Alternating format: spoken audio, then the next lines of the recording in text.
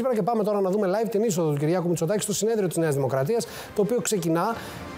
Τολμώ να πω ότι το ενδιαφέρον σε σχέση με άλλα συνέδρια δεν είναι και φοβερά μεγάλο. Ελπίζω ότι επειδή είναι συνέδριο θέσεων θα ακούσουμε πράγματα που πιθανόν να μας κάνουν να το συζητάμε. Για να δούμε εδώ τι γίνεται.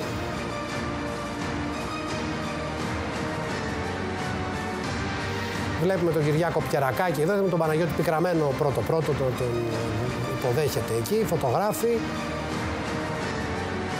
Εδώ ο Κυριάκος Μητσοτάκης, πλήθος κόσμου προφανώς. Ένα συνέδριο σε ένα κόμμα το οποίο βρίσκεται για δεύτερη συνεχόμενη τετραετία στην εξουσία και το οποίο φαίνεται να προηγείται και στις δημοσκοπήσεις για τις επόμενες εκλογές με μεγάλη διαφορά. Είναι προφανές ότι θα έχει παλμό, θα έχει κόσμο. Έχω καταλάβει ότι η ομιλία του Κυριάκου Μητσοτάκη που θα ξεκινήσει στις 8 ακριβώς είναι μια ομιλία που θα προκαλέσει συζητήσεις, διότι είναι ένα συνέδριο θέσεων, όπως είπα και πριν. Ο Κυριάκος Μητσοτάκης, να η κυρία Μπακογιάννη, βλέπω πίσω τον κύριο Γεωργιάδη, τον κύριο Χατζηδάκη, ο κύριος Βρούτσης, η κυρία Ζωή Ράπτη εκεί, ο κύριος Αυγενάκης,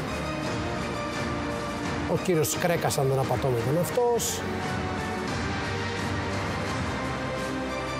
Βλέπω πολύ κόσμο εκεί. Έλεγα λοιπόν Έλεγα, έβλεπα λοιπόν ότι ε, υπάρχει πάρα πολλοί ε, κόσμος και ότι οι θέσεις τις οποίες θα προσπαθήσει να ε, σφυριλατήσει εκ νέου ο κύριος Μητσοτάκης σχετίζονται εν πολλής και με την αλλαγή του πολιτικού σκηνικού γιατί η μετατόπιση προς το κέντρο της Νέας Δημοκρατίας πρέπει στις θέσεις να συμπεριλαμβάνει και πιο κεντρές και κεντρώες συγγνώμη, απόψεις θεσμικά στις θέσεις. Γίνεται στο Ζάπιο γιατί είναι τα 50 χρόνια και έχει ένα συμβολισμό. Ε, η Νέα Δημοκρατία διεκδικεί τον ρόλο του κόμματος το οποίο ε, έβαλε τη χώρα στην Ευρώπη και πλήθος κόσμου βλέπουμε και στην πλατεία Ζαπίου.